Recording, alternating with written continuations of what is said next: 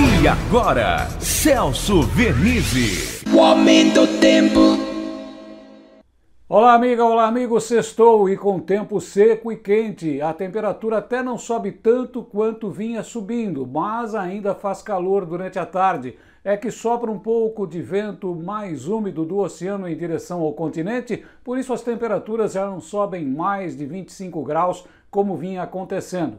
Vamos ter sol, aproveitamento no fim de semana, o clima seco melhora um pouquinho por causa desse vento mais úmido que sopra do mar de vez em quando e vamos ter um sábado e um domingo de aproveitamento. Para quem está de férias, ótimo, para quem vai folgar também. Muito sol, não esqueça um bom filtro solar. Temperatura não sobe muito, mas tem aí o sol para queimar. Tem aproveitamento e à noite ainda um pouquinho de frio. Aproveitamento e aproveite bem o fim de semana. Um abraço a todos. O aumento do tempo.